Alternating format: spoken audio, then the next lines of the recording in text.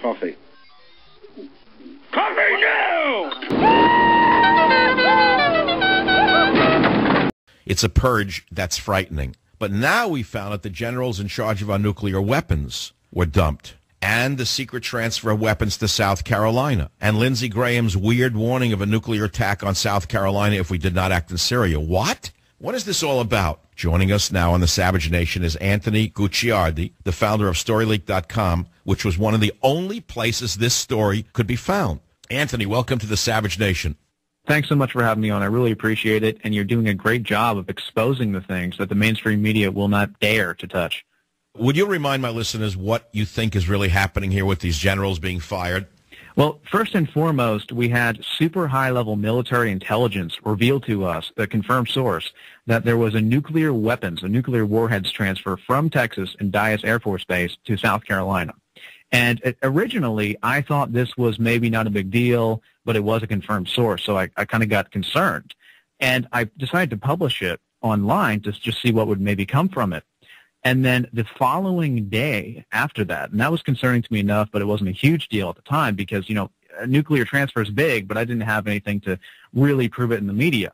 But then I found out a day later when CBS reported on it that Lindsey Graham had gone out on record in a speech and said just hours after we uh, released that intel that if we don't attack Syria, specifically even Iran, that a nuclear strike could happen in South Carolina, which is where that source told me the nuke was headed directly, specifically stated South Carolina. So I was concerned and I called Graham's office and I said, you know, did you really say that? And his staffer said, yes, Graham actually said there could be a nuclear strike in South Carolina if we don't attack Syria. And also, we're really freaked out about it and we're looking for answers. And that was strange enough. That got, you know, several hundred thousands of, of of readers to question what was going on. But then the real thing is weeks later, after all of this, really what blew it up is the second highest nuke commander in the United States was suspended over some bogus lottery ticket, you know, gambling stuff. And it turned out that through a leaked email reported on by the Daily Mail that he had been suspended on September 3rd, the same exact day that I released that military intelligence. So specifically, it says an internal email obtained by the AP on Friday said the allegations against Carey stem from an inspector general probe of his behavior while on an unspecified temporary duty assignment for the next guy who was fired, the top general. So both of these guys were fired around September 3rd, specifically the second commander, fired on the day of the nuclear intelligence leak. But then they were also fired for a specific temporary duty assignment that they failed to do.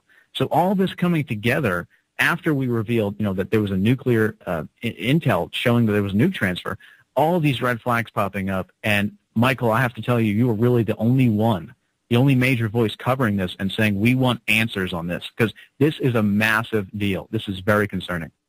Have any of the stooges in the so-called mainstream media reported on this? Well, you know, believe it or not, the source that came to me, he actually told me. He told me straight up. He said, Anthony, you know, I like you guys. I, you know, I like everyone you're working with. I want to come to you.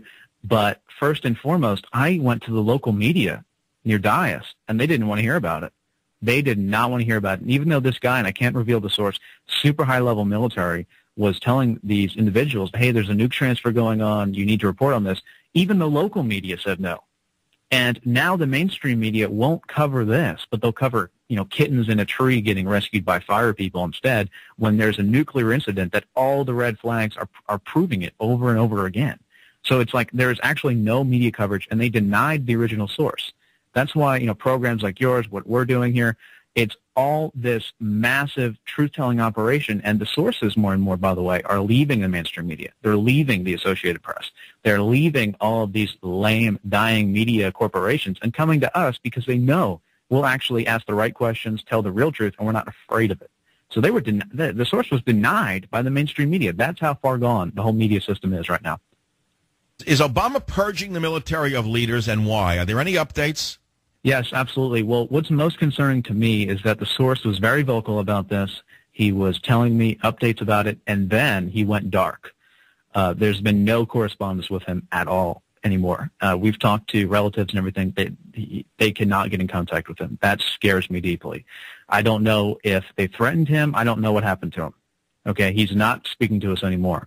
But now I hear that the major nuke uh, facility near Dyess has been shut down for the government shutdown. They're laying out off like 4,000 people anyway, and that is the latest update. But what concerns me the most is all of these generals, not just generals, all these nuke commanders being fired and suspended, all by these higher ups that are behind all of the nuclear weapons in the in the whole United States.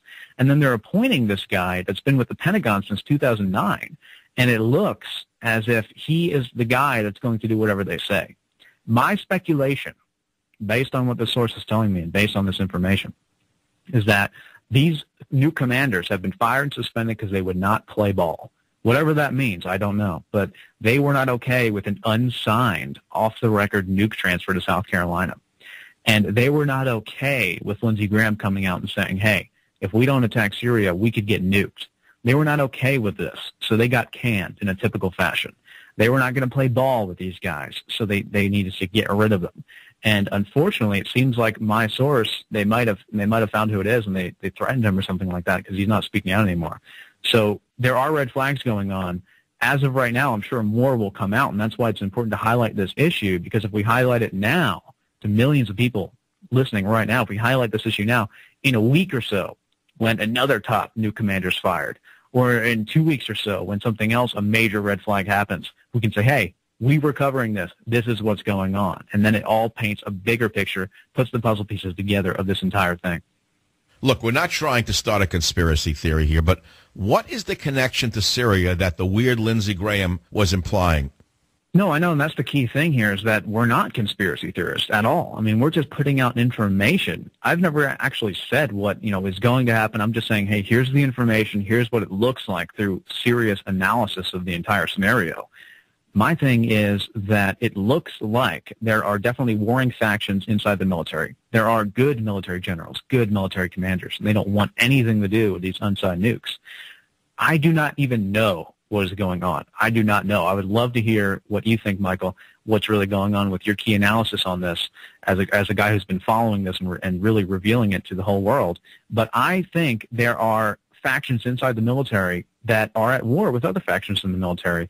And this nuke could be used as a, a sort of a, a holding this country captive, holding it hostage to launch a war with Syria, to say, to come out and say, you know, maybe one faction comes out and says, yeah, you know, if we don't go to war with Syria or Iran or whatever, then this nuke could explode in South Carolina. It's, it's a very twisted, strange system that, you know, it's, the analysis is not fully there but something is going on, and that's why we're bringing all this to attention. We're not starting conspiracy theories.